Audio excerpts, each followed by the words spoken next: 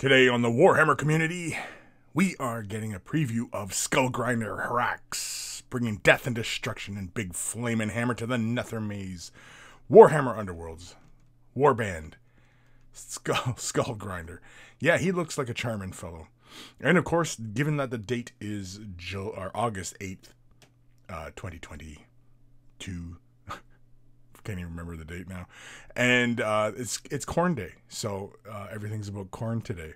And this feller uh, be coming out for Nethermaze. And so if you're really interested, uh, definitely check out the article. Uh, I'm not sure if this is a full warband or if it's just this dude. If it's just this dude, I mean, he's gonna have all sorts of crazy powers, right? But if it is part of another war band, well, then we're gonna see more of these guys, and should be fun, no? Check it out.